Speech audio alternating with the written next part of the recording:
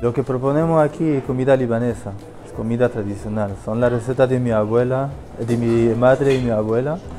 Y son recetas tradicionales, los sabores son exactamente igual como en Beirut, os va a gustar.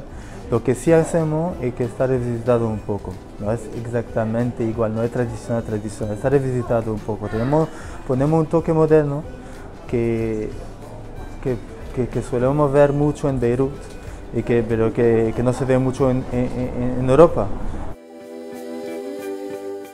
Tema vegetariano, tema vegano, con hummus, con ensaladas ricas, con, hacemos falafel, tenemos también una propuesta de carne con kafta y, y pollo y tenemos, tratamos de hacer también mucha comida de casa eh, con giros de berenjena y proponemos comer cosas fuera de la carta, con cosas de verdad caseras, recetas de abuela, son la comida que de verdad echamos de menos cuando estamos afuera.